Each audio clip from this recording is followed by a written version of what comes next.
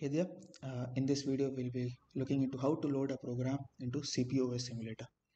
So this so once the CPU simulator is open, uh, just go to this advanced tab and click on compiler.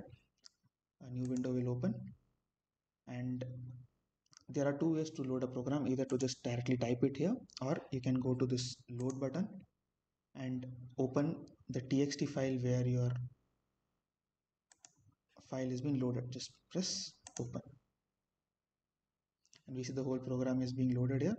Now we need to test whether this program compiles or not. So just go to this compile button and press compile. So the compilation is in progress.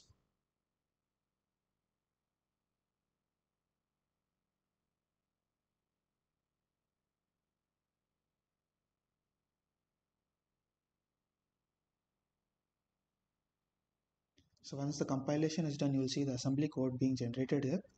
Now, in order for us to execute this program, we need to load into memory. So what we will do is, we will load it into base address 100 and click on load in memory.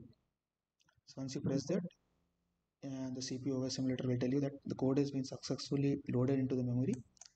So we see that the binary search program is being loaded into memory with which is at base address 100 so that's all for this video. Hope you like this. Uh, please do like and subscribe this channel for more video like this. Thank you